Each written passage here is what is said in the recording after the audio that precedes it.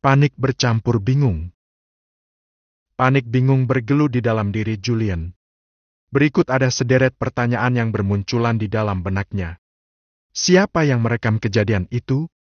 Dari mana orang misterius itu mendapatkan nomor Renjani dan apa tujuannya? Benar-benar wajib diselidiki lebih lanjut. Tapi masalahnya sekarang, Renjani bangun dan memergoki Julian sedang memegang handphonenya. Apa ada yang nelpon ke aku, Mas? Tanya Rinjani. Hmm, enggak kok. Tadi handphone kamu ada di dekat bantal, takutnya ketindih terus bikin kamu gak nyaman. Makanya aku ambil dan mau aku taruh di nakas. Jawab Julian sebisanya. Iya sih, tadi aku kasihkan scroll medsos, sampai ketiduran. Julian harus segera mengamankan video dan menghapus riwayat chat dari nomor misterius itu. Maaf siniin dulu mas jangan ditaruh dulu, Aku mau pesenin taksi buat Biheni. Kata Rinjani lalu meminta ponselnya dari Julian. Julian agak berkeringat dan tak tahu harus bagaimana sementara jari-jarinya mendadak kaku untuk sekedar bergerak menghapus nomor dan foto itu. Mas? Siniin. Pinta Rinjani. Bagaimana ini? Apakah gerakan jari Julian saat menghapus akan membuat Rinjani curiga? Sementara saat ini Rinjani fokus menatap ke arah handphonenya yang masih ada di tangan Julian. Wikoik. Baby Al terbangun dan menangis. Hei, Al, kenapa sayang? Pasti haus ya? Sini, sini, sini. Beruntung sekali. Perhatian Rinjani terdistraksi dengan tangisan Baby Al. Di saat Rinjani menunggu Henny membawakan Baby Al ke pangkuannya, Julian cepat-cepat memblokir dan menghapus nomor itu. Al, kamu adalah penyelamat. Makasih ya, jagoan. Ucap Julian di dalam hati karena merasa diselamatkan dari situasi yang sulit itu oleh tangis dari anaknya. Al, nenek pulang dulu ya. Malam ini kamu ditemenin sama papa kamu lagi. Kata Henny pada baby Al sebelum menyerahkannya pada Rinjani. Oke, nek. Makasih ya udah jagain aku dan mama selama papa nggak ada. Jawab Rinjani sambil mengecilkan volume suaranya seolah dia sedang mewakili Baby Al untuk menyahut Henny. Sama-sama, anak soleh. Rinjani lupa dengan handphonenya dan sekarang benar-benar fokus pada sang buah hati. Tapi, Julian tak merasa lega begitu saja. Justru Julian jadi merasa sangat bersalah karena terkesan sudah membodohi Rinjani. Bagaimana ini? Apa dulu yang harus Julian lakukan? Memberi pengertian dulu pada Rinjanikah? Atau menelusuri dulu soal sumber potongan adegan tadi bersama Farhana? Rin, Bibi pulang dulu ya. Besok Bibi usahakan datang lebih pagi buat siap-siap pulang ke rumah Pak Rudi. Pamit Henny. Iya, Bi, makasih ya udah jagain aku dan Al. Aku mau pesankan taksi online buat Bibi. Bibi mau pulang ke rumahku atau ke rumah Bapak? Gak usah dipesenin Rin, Bibi mau naik taksi biasa aja. Malam ini Bibi pulang ke rumah kamu aja sambil beres-beres. Lo, Bi, naik taksi online lebih praktis lo, tinggal nunggu aja. Enggak, Rin. Naik taksi biasa aja, Bibi pulang dulu ya. Em, um, ya udah kalau Bibi maunya naik taksi biasa.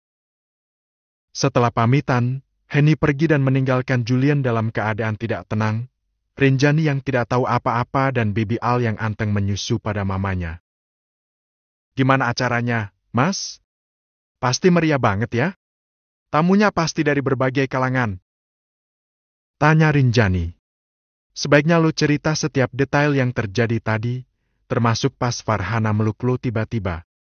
Satu sisi hati Julian mendorong Julian untuk bercerita secara detail tentang apa saja yang terjadi di pesta tadi. Jangan-jangan Rin bisa kecewa dengar itu, kayaknya terlalu cepat dan resikonya dia bisa kesal, kepikiran dan dampaknya bisa jadi panjang. Sebaiknya lo keep aja dulu soal itu, dan cari tahu dulu siapa orang gila yang merekam dan mengirim itu ke nomor Rinjani. Tapi sisi hatinya yang lain malah kontradiktif. Dua-duanya membuat Julian kebingungan. Apa yang harus ia lakukan? Aku sih berharap kamu gak ketemu sama Mbak Farhana, dari tadi aku kepikiran banget, takut kamu curi-curi waktu buat ngobrol sama dia. Kata Rinjani agak kekik. Nah kan? Baru berpikiran seperti itu saja Rinjani sudah sebal, apalagi kalau tahu semuanya. Oh ya, emangnya dokter udah ngizinin kamu sama Baby Al pulang besok? Tanya Julian mengalihkan topik. Iya, kondisi Al sudah stabil dan udah boleh dibawa pulang. Kondisiku juga udah membaik dan gak ada masalah apa-apa. Hanya saja, aku dikasih tahu kalau satu waktu mungkin saja aku kena baby blues syndrome. Aku udah sering baca-baca soal itu, kayaknya berat banget. Tapi aku udah dikasih tahu beberapa poin pentingnya sama dokter. Niar tadi, kalian akan baik-baik aja di bawah lindunganku, tenang aja. Tentu saja, Mas. Melihat bagaimana Rinjani dan Baby Al ada di satu frame pandangannya, rasanya damai sekali, tapi kemudian Julian masih kepikiran soal nomor yang tadi. Wait, gimana gue nyari info soal nomor tadi sementara nomornya udah gue blok berikut udah gue hapus? Ash, sesali Julian. Panik membuat Julian mendadak jadi orang yang gegabah. Mas, kamu tuh kayaknya lelah banget ya? Duduk dulu, Gi. Kamu siap-siap aja di jam tengah malam nanti. Kata Rinjani mencurigai Julian. Enggak kok, enggak capek. Aku akan standby dari sekarang. Tapi besok kamu udah mulai gabung sama tim kamu lagi kan? Aku minta perpanjangan cuti tapi ternyata nggak bisa. Besok siang harus sudah gabung latihan lagi sama tim, tapi kamu kan tinggal di rumah papa. Kamu nggak usah cemas, di sana banyak orang yang akan bantu kamu. Iya sih, tapi, tetap semangat ya. Harusnya sih kamu lebih banyak nyetak poin sekarang. Sekarang ada dua penyemangat utama di dalam hidup kamu. Pasti. Tadi beberapa teman satu tim kamu datang dan bawain kado. Oh ya? Ya, siapa ya tadi? Dua orang sih dan datang sama istri-istri mereka. Julian tidak terlalu fokus dengan itu dan sedang harap-harap cemas. Semoga tak ada lagi orang gila yang mengirim ulang potongan adegan di parkiran tadi ke nomor Rinjani dengan nomor yang lain lagi. Farhana dan Ruby berjalan di koridor menuju ke ruang khusus ibu dan anak. Dia bertanya pada petugas yang berjaga di meja informasi lalu menanyakan ruangan Rinjani. Pasien atas nama Rinjani Aulia dan Alve Andra Dewa Prawira baru saja pulang tadi pagi, Bu. Mendengar itu, Farhana menjadi kecewa. Ruby juga, mereka tak tahu kalau orang yang mau mereka jenguk ternyata sudah pulang. Terima kasih banyak ya. Ucap Farhana pada petugas. Sama-sama, Bu. Farhana harus memberi pengertian pada Ruby yang begitu berharap bisa menjenguk Rinjani dan Baby Al. Ruby, Tante Rin dan anaknya udah pulang dari sini. Jadi kita nggak akan menemui siapa pun di sini. Kata Farhana dengan lembut. Ya ah, kok bisa? Mami sih. Harusnya kita pergi dari tadi biar nggak ketinggalan begini. Udah, kamu jangan sedih. Kita akan langsung pergi ke rumahnya. Oke? Okay? Oke, okay, Mam. Kita lihat apakah hubungan kalian masih baik-baik saja setelah kejadian semalam? Pastinya Rin udah tahu dong soal kejadian semalam. Farhana merasa memiliki kesempatan lagi untuk mengganggu. Kalaupun dia tak bisa merebut hati Julian lagi, setidaknya tak ada lagi yang bahagia di atas penderitaannya, begitulah pikirnya. Ayo, Mam, kita pergi sekarang. Ajak Ruby. Iya, sayang. Setelah dari rumah sakit, mereka berencana untuk segera pergi ke rumah Julian dan Rinjani. Persepupuan. Rinjani dan Baby Al disambut meriah oleh Rudy dan beberapa saudara sepupu Julian yang baru datang dari luar kota, bahkan ada juga yang dari luar negeri. Rinjani sangat terkejut dan tak menyangka kalau pulang ke rumah Rudy akan disambut seperti ini. Dari halaman saja sudah didekorasi dengan pernak-pernik menggemaskan seperti balon-balon dan benar sambutan untuk Mam Rinjani dan Baby Al. Narin, ini adalah saudara-saudara sepupu Julian. Saat kalian menikah, beberapa dari mereka ada yang tak bisa datang dan untuk momen kali ini, mereka menyempatkan diri untuk datang menyambut anggota baru keluarga Prawira. Rudi memperkenalkan sederet orang yang masih cukup asing bagi Rinjani. Terima kasih banyak ya semuanya, aku benar-benar senang, haru, takjub dengan sambutan kalian. Ucap Rinjani dengan mata berbinar-binar. Sama-sama, Rin.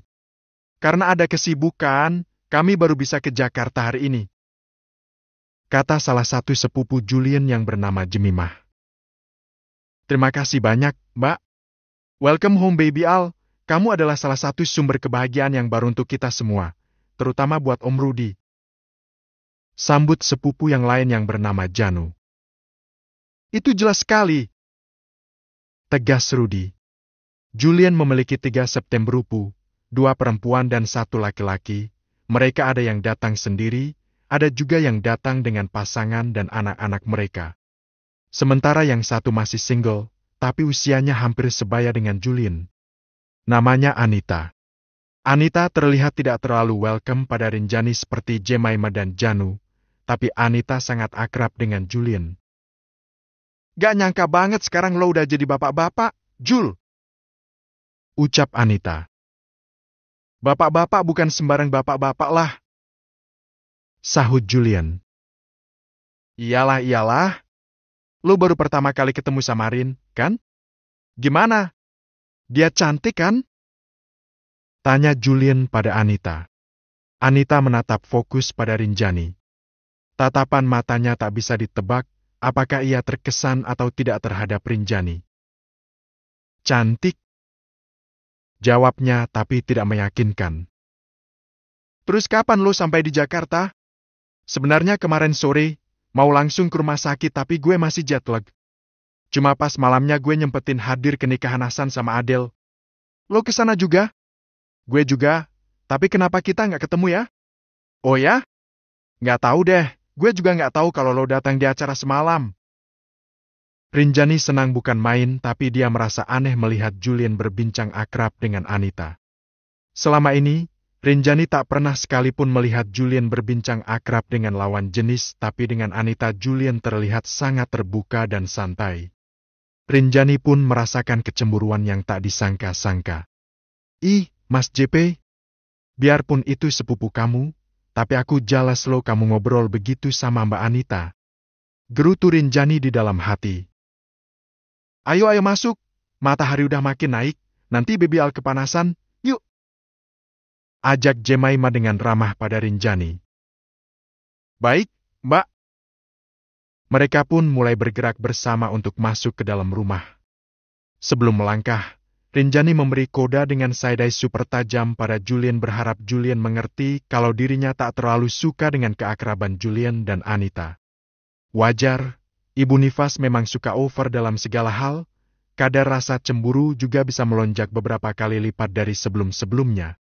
Julian langsung menangkap sinyal itu dan segera Julian menjaga jarak dengan Anita dan Anita. Walaupun tidak ada kata, tapi Anita merasa kalau Rinjani cemburu kepadanya. Dih, najis. Pantas saja Farhana benci sama bininya si Jul. Posesif banget dia. Gerutu Anita di dalam hati. Dia salah paham dan menilai kalau Rinjani berlebihan dan itu sangat menyebalkan di matanya. Tanterin sama Baby Al pulangnya ke rumah Parudi, ke rumah kakeknya Baby Al. Ya ah, Kirain pulang ke sini. Farhana dan Ruby hanya bertemu dengan Henny di rumah dan mengabarkan kalau Renjani dan Baby Al pulang ke rumah Rudy. Ruby terlihat sangat kecewa. Padahal hati kecilnya begitu menggebu ingin bertemu dengan Renjani dan Baby Al. Sayang, nanti kita nengoknya pas Tante Rin udah pulang ke rumah ini aja ya. Biar kamu juga bisa lebih leluasa main sama dede bayinya, oke? Okay? Bujuk Farhana pada Ruby. Kalau mau biar saya mintai alamat Pak Rudi kalau memang kalian mau ke sana. Kata Henny. Nggak perlu, Bu. Saya udah tahu alamatnya kok. Saya sangat kenal sama Om Rudi. Oh begitu? Kalau begitu Maya bisa langsung ke sana saja. Saya takut ganggu momen keluarga. Pasti saat ini mereka sedang bersuka cita. Mungkin nanti saja kalau sudah pulang ke rumah ini. Ruby tampak kecewa dan dia berjalan lebih dulu menuju ke mobil. Henny jadi kasihan, tapi Henny juga jadi penasaran, siapa Farhana dan Ruby? Apakah temannya Rinjani?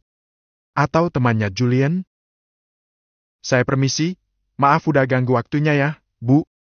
Iya silakan. Enggak kok, saya nggak merasa terganggu. Farhana selalu bersatnya kembali menggebu setiap kali ia merasa ada kesempatan. Begitulah Farhana. Sebuah kamar khusus juga disiapkan untuk menyambut Rinjani dan Baby Al. Di kamar itu didekorasi khusus dengan berbagai furniture dan aksesoris untuk anak laki-laki. Sambutan luar biasa itu menambah imun untuk Rinjani. Dia merasa sangat istimewa dan merasa sangat berharga di tengah-tengah keluarga Prawira. Tapi, ada yang mengganjal saat ingat dengan sosok Anita yang juga tidak terlalu bersikap ramah pada Rinjani. Papa bikin taman bermain khusus di taman belakang. Kabari Julian. Oh ya? Papa bahkan udah nyiapin taman bermain buat baby Al? Ya, aku kasih tahu Papa, harusnya ditunda setidaknya satu tahun lagi. Tapi Papa bilang dia nggak sabar pengen cepet-cepet bikin taman bermain itu biar Al betah sedari dini di rumah ini. Rinjani senang sekali mendengarnya. Perhatian Rudi tak pernah surut walaupun dia sangat sibuk dalam kesehariannya. Oh iya, aku seneng banget loh karena sepupu-sepupu kamu ada di sini sekarang. Jadi penyambutan ini terkesan semakin ramah dan meriah. Ungkap Rinjani. Ya, aku juga nggak nyangka kalau mereka akan datang. Bahkan Anita sengaja pulang dari La demi nengok ponakan barunya ini. Tapi kok dia kayak kurang welcome gitu ya? Maksudku, agak beda sama sikap Mbak Jemaima sama sikap Mas Janu. Ungkap Rinjani lagi. Emang gimana, sayang? Gimana ya? Kayak beda aja gitu. Sama kamu sih akrab bahkan aku nggak pernah lihat kamu ngobrol akrab gitu sama perempuan lain. Tapi sama Mbak Anita kok kayaknya dikit banget. Julian mengerti, dia juga memaklumi sikap Jalas Rinjani. Dia emang yang sebaya sama aku, Arin. Sebelum lanjutin studi ke Amrik, dari SD sampai kuliah kita sempat satu sekolah dan sekampus juga. Kenal baik juga sama Asan, Edwin dan... Baru saja Julian mau menyebutkan nama Farhana, dia jadi ragu sebab dia tahu kalau Rinjani tak suka jika Julian menyebut nama itu. Dan? Mbak Farhana ya? Tapi Rinjani dengan mudah menebaknya. Wah, ternyata itu alasan kenapa Julian sangat akrab dengan Anita. Ternyata dia memang tumbuh besar bersama dengan Julian bahkan kenal dengan Asan, Edwin dan Farhana juga. Oh jadi gitu? Kamu gak nyaman dengan itu? Tanya Julian. Enggak kok. Lagian dia kan saudara sepupu kamu, Mas. Fine-fine aja kok. Lagian yang jadi istri kamu kan aku. Yang teristimewa di hati kamu juga aku dan baby Al, iya kan? Rinjani menghibur dirinya sendiri. Valid. Itu nggak usah dipertanyakan lagi. Kalian adalah yang terpenting. Jadi kamu gak perlu ngerasa gimana-gimana ya. Kata Julian sambil mengelus-elus kepala Rinjani dengan penuh kasih dan sayang. Apa yang Rinjani takutkan? Kesetiaan Julian terbukti selama perjalanan pernikahan mereka walaupun awal-awal sempat meragukan. Anita seperti cicak yang menguping perbincangan itu. Kebetulan pintu kamar memang tidak tertutup rapat karena beberapa saat sebelumnya para saudara ada di kamar itu dan saat baby Al tertidur barulah mereka bubar dari kamar dan orang terakhir yang keluar dari kamar lupa untuk menutup pintu rapat-rapat. Hiu! Sumpah! Pengen muntah dengernya! Cibir Anita sambil membuat gestur hendak muntah.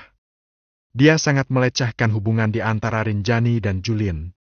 Beranjak dari sana, Anita menelpon seseorang dan itu adalah Farhana. Hai, Far. Sibuk nggak? Ngopi bareng yuk? Teman lama.